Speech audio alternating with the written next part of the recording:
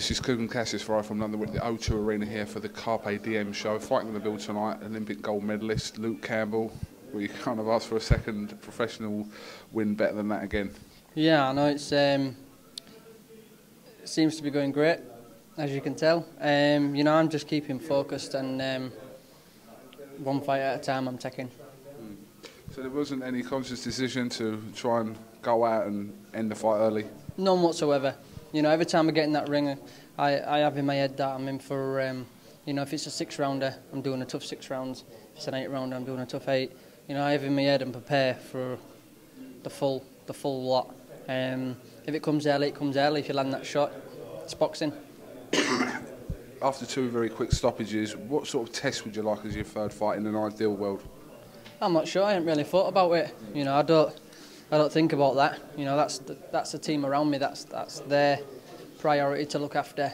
My priority is to stay in the gym, concentrate on me, and um, you know, try and improve and get better and better. Talked about the knockdown before, obviously, the end of the fight. Um, what happened there? Yeah, um, I don't know. It happens fast, doesn't it? Um, I, th I think I threw a one to hook, um, stepped back, and then I just seen his legs wobbling. So I stepped in again, um, put one to the stomach, you know, and he went down. Um, you know, he's a good kid. I'm not fighting journeymen. I'm fighting guys that they're here to win. Um, you know, he was in great shape. When I first got in the ring, I looked at him and I thought, he's in good shape.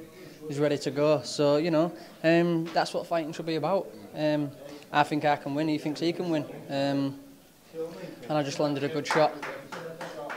Back in Hull now on the 2nd of November yep. for another show there. Um, so you must be, like I said, you're headlining your own show again in Hull, yeah. that's, and that's a great card on that as well. There's Coyle it's against Reeves on that, yeah. Lucas Browne and uh, Richard Towers. So that should be an entertaining night in Hull. Should be a very entertaining night. You know, I think the show's nearly sold out, which uh, tells you something about Hull as well. You know, it's got great, great boxing fans there that want to support us.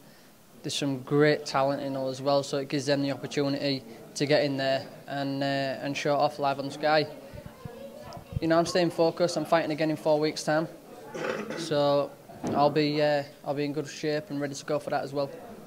All right, listen, I'm not going to take too much of your time. Congratulations, like I said, second second win. You're staying grounded about it, so yeah. not getting too carried away with what's happening. So no, definitely not. Early days yet. Early days know, indeed. I know there's a lot more to come. Um, you know, there's going to be tough tests out there. I'm in a very tough weight division, but I put myself there, and I'm uh, I'm happy to compete you know, we're the best and that's where I want to be. All right, Luke Campbell, well done. Thanks for talking Thank to us you. and we'll see you in Hull. Cheers, see you in Hull. Kugan Cassius with Luke Campbell here for IFILM London. Thank you very much.